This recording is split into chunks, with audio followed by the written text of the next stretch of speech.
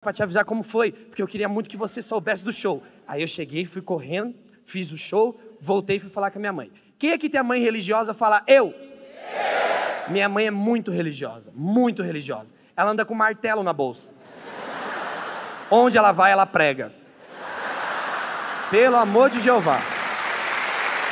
Essa mulher ama Deus. Ela ama. Se Jeová tem um livro, a capa é minha mãe assim, ó. Tem gente que passa de frente à igreja, fala o sinal da cruz. Minha mãe pega e fala assim, ó. Se ela encontrasse com Jesus no Tinder, ela dava super like, juro pra vocês. E aí, por conta disso, eu estava muito feliz nessa noite e eu queria acordar minha mãe de um jeito diferente que eu queria ensinar para vocês. Todos vocês que têm mãe religiosa, faça isso pelo menos uma vez na vida. Chegue na casa da mãe de vocês, três da manhã. Agache ao lado da geladeira. Quando der 3h33, que segundo a atividade paranormal é o horário do demônio, eu quero que todos vocês façam esse barulho aqui, ó.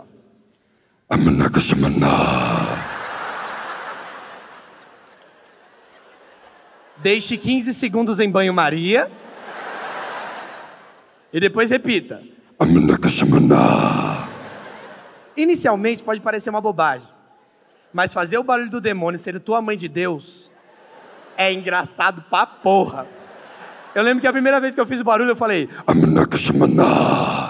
O clima da minha casa ficou tão ruim que meu cachorro levantou assim, ó.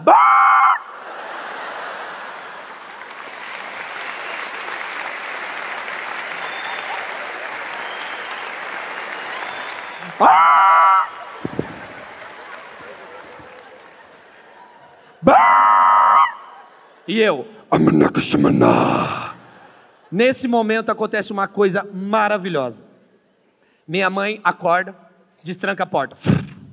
Abre a porta. Sabe quando a pessoa está com tanto medo do demônio que ela coloca só um olho para fora? Porque caso o demônio apareça, chupa esse olho e tem esse para correr. ela colocou só o Sharingan. Essa piada é para poucos. Eu falei. E ela abriu a porta.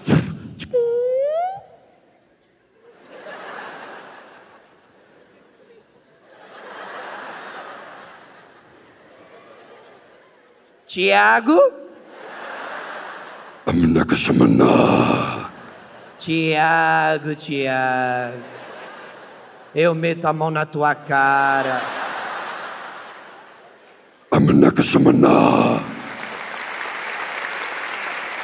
Tiago, Tiago. Tiago não brinca com o demônio que ele é traiçoeiro. Olá, dona Nice. Tiago, eu sei que é você que o demônio não sabe meu nome. Eu sou o demônio. E eu sou sua mãe, moleque. Eu que te dei a vida para tirar ela é dois palitos. Eu vim lavar a sua alma. Tiago, você não lava suas cuecas, Tiago. Quer lavar a alma dos outros. Só que pra quem tá discutindo com o demônio, minha mãe tá muito confiante. E aí eu falei, quer saber, eu vou assustar essa véia pra caralho agora. Aí eu bati o pé no chão em direção a ela, tipo... Quando eu fiz isso, pra se proteger do demônio, ela trancou a porta. tá de palhaçada, né? Atrasou. Como se o demônio temesse fechaduras. E eu acho mais da hora que quando eu tava correndo pra direção ao quarto, aí ela fez um contrafeitiço que eu achei maravilhoso, que é, ela trancou a porta e falou, tá amarrado! Que isso não funciona, né, gente? Vamos concordar? O que, que minha mãe tava esperando? Porque imagina, o demônio tá correndo assim, ó. Aí minha mãe fala, tá amarrado! Imagina, corta pro demônio, filha da puta!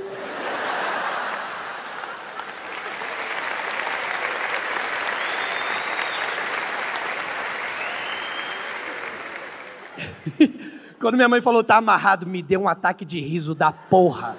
Sabe aquele ataque de riso que o queixinho fica assim, ó? Sabe aquele que você não quer rir, mas você precisa rir, gente, tipo, ai, mãe, manda mãe, ai. Sabe isso? Então, pra não rir, voltei para trás da geladeira e falei.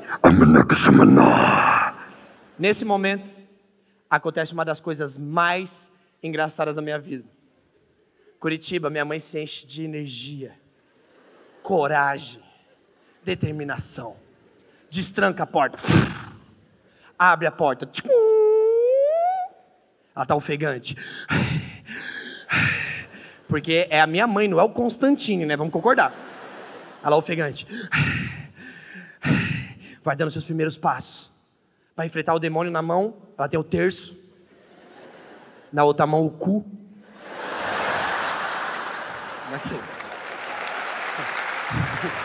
É o demônio, né? E quando eu falo cu na mão, é a expressão, tá, gente? Não é que minha mãe desrosqueou o cu e falou, vai demônio! Eu nunca ia pra cima com alguém que tá com o cu na mão, literalmente assim. Imagina, eu dou um soco, a pessoa esquiva e mete o cu na minha cara. Ela dá um soco no meu peito, tem um cu no meu peito. Duas tetas, um cu. Coloco minha mina pra deitar no meu peito, um cheiro de bunda na cara da menina. E aí o que mais foi foda é que foi que minha mãe levantou a mão com o terço e falou uma das coisas mais engraçadas da minha vida. Minha mãe levanta o terço e fala: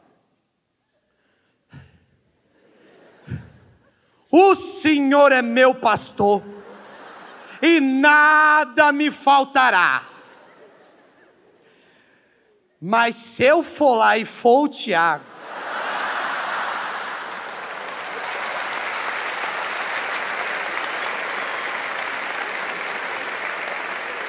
eu mato ele. Chegou lá, era eu na posto de quebrada assim. Aí ele olhou pra mim e falou: Retardado! Isso é hora de fazer o barulho do Nefistáfolis. Tiago, imaginem só: se o capiroto sai do inferno, entra no corpo do cachorro e o cachorro chupa nosso zóio. Você não sabia que o cachorro e o demônio têm algo em comum, por isso que o nome dos dois é cão?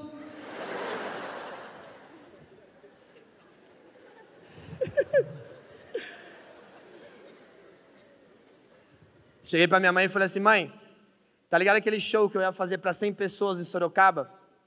Pois bem, eu quero falar um bagulho. Meu show parece muito com o do Pablo Vittar. Exceto pelo meu pau que tá para frente.